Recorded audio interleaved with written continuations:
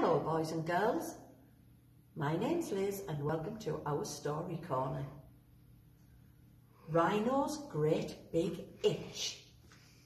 Rhino had an itch, a great big terrible itch, right in his ear. He twisted, he turned, he wriggled and rolled, but the itch just wouldn't go. All you need is a little help, said Bird. You're right, said Rhino.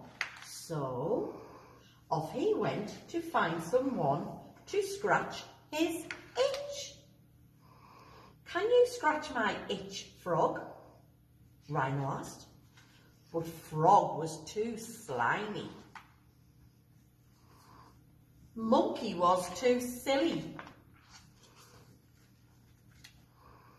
Lizard was too prickly.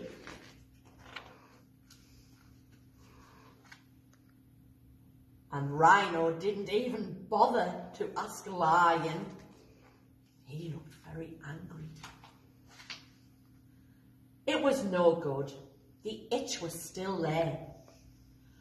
All I need is a little help. Rhino sighed. I can help you, said a little voice. How can you help me, Bird? asked Rhino. My itch is big and you are far too tiny. I may be small, said Bird, but I am just right for you. So with a hop and a skip and a little peck, the itch was gone.